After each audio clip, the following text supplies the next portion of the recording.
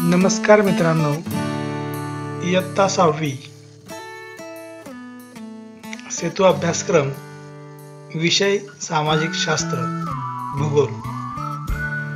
दिवस तेरावा.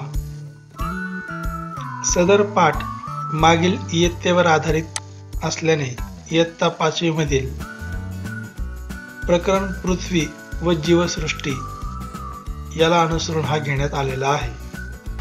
घटक आहे शिलावरण. क्षेत्र प्राकृतिक भूगोल. अध्ययन निष्पत्ती आहे निरीक्षणे अनुभव माहिती यांची सुनियोजित पद्धतीने नोंद करतात. उदाहरणार्थ तक्ते आरेखन स्तंभालेख पायचार्ट व कृती वा घटनेतील आकृतिबंधाचे भाकीत करतात. यावरून कारण व परिणाम यातील परस्पर संबंध स्थापित करतात. भूप्रदेश हवामान संसाधने अन्न पाणी निवारा उदरनिर्वाह व सांस्कृतिक जीवन उदाहरणार्थ अति दूर दुर्गम प्रदेशातील थंड प्रदेश उष्ण वाळवंटातील लोकांचे जीवन यामधील दुवे विशद करतात. थोडेसे आठवूया. मित्रांनो मागील इयत्तेवरील पाठात ज्या काही संकल्पना दिलेल्या होत्या त्यांवर आधारित हे प्रश्न दिलेले आहेत. हे तुम्हाला आठवतात का ते पहा.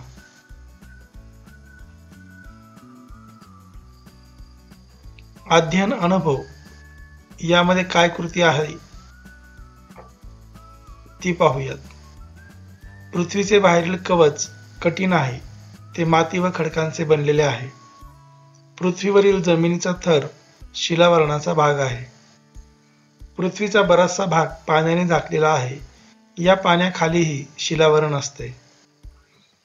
पृथ्वीचे बाहेरील कवच व त्या खालील थराचा काही भाग मिळून शिलावरण बनते. पृथ्वीच्या पृष्ठभागाचा सुमारे एक तृतीयांश भाग जमिनीचा आहे.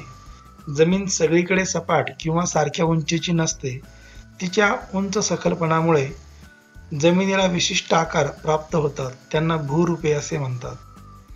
मैदान टेकडी डोंगर दरी पठार पर्वत बेट इत्यादी भूरूपे तुम्ही चित्रात पाहू शकता. या चित्राचे नीट निरीक्षण करा.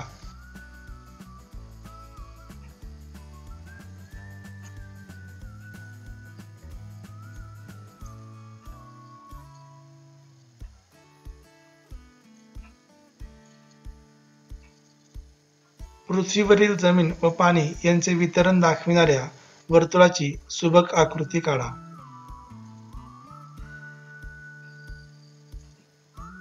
पुढील भूरूपाविषयी अधिक माहिती मिळवा.